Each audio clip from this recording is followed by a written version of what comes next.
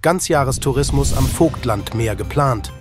Der bisherige Naturfreibad-Funktionsbau nahe dem Gunzenberg soll nach der Vision des Zweckverbands Talsperre Pöhl weichen und ein 12 Millionen Euro teurer Erlebnisbau entstehen. Bei einem Treffen wurde eine mögliche Unterstützung durch den Freistaat im Rahmen des Masterplans Tourismus Sachsen besprochen. Also, dass du hier wirklich super gut Urlaub machen kannst. Mehr zum Ganzjahrestourismus an der Talsperre Pöhl sehen Sie jetzt.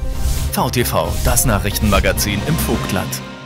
Landrat und Talsperren-Zweckverbandsvorsitzender Thomas Hennig hat kürzlich zusammen mit Verbandsgeschäftsführerin Elisabeth Blümelfuchs die sächsische Staatsministerin für Kultur und Tourismus Barbara Klepsch zu einer Dampferrunde auf der Talsperre Pöhl empfangen. Wir hatten ja die Staatsministerin eingeladen, um sie mal zu sensibilisieren für unsere Vorhaben, die wir haben. Als erstes praktisch diese Abwasserleitung, die wir brauchen, um einen Ganzjahrestourismus vorzubereiten, um auch die Saison zu verlängern bei uns hier an der schönen Talsperre.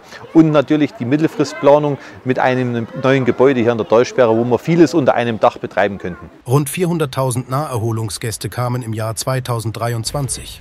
Sehr begeistert von der drittgrößten Talsperre im Freistaat zeigte sich die sächsische Staatsministerin für Kultur und Tourismus. Gute Nachrichten, tolle Fahrt, super Gespräch, ganz innovative Ideen. So, jetzt arbeiten wir am Thema Ganzjahrestourismus gemeinsam weiter.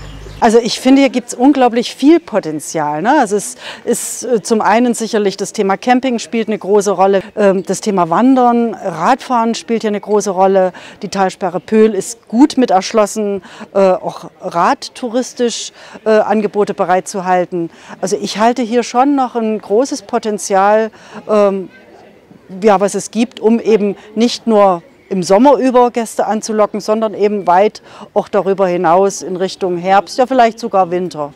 So, und ich nehme natürlich mit, dass es einfach weitere Unterstützung braucht, auch finanzieller Art, um, und das ist die Grundvoraussetzung, wirklich die wassertechnische Erschließung einfach hier auf, ja, weiter voranzubringen. Unterstützung durch den Freistaat im Rahmen des sächsischen Masterplans Tourismus Sachsen erhofft sich Zweckverbandschefin Elisabeth Blümel-Fuchs. Wir haben wirklich voller Stolz unsere Entwicklung in den letzten Jahren vorgestellt und konnten damit auch überzeugen. Und ähm, die Gästezahlen im Bereich Camping sprechen für sich, aber auch die Tagesgäste sind in den letzten Jahren deutlich nach oben gegangen. Und mit diesem Rückenwind haben wir natürlich auch Selbstvertrauen gewonnen. Für uns als Zweckverband ist jetzt wirklich das Ziel in den nächsten drei Jahren, die Möglichkeiten für die Finanzierung der Abwassergeschichte so zu äh, gestalten, dass wir hier einen Ganzjahrestourismus im Bereich Campingplatz Gunzenberg, Touristencampingplatz Gunzenberg, Wassersportzentrum und Schiffsanlegestellen realisieren können. Dazu wird es weiteren Kontakt geben, wie die Finanzierung und auch die Unterstützung vielleicht vom Freistaat aussehen kann, auch im Rahmen vom Ganzjahrestourismus. Und da gehe ich auf jeden Fall mit einem positiven Gefühl raus. Perspektivisch die Vision Erlebniszentrum an der Talsperre Pöhl werden wir im Auge behalten. Auch da hat sie Anregungen gegeben, wie wir das weiterentwickeln könnten. Und das werden wir mitnehmen und gucken jetzt nach vorn. Real jetzt Herzen kommentieren oder teilen. Mehr Nachrichten auf vogtland-tv.de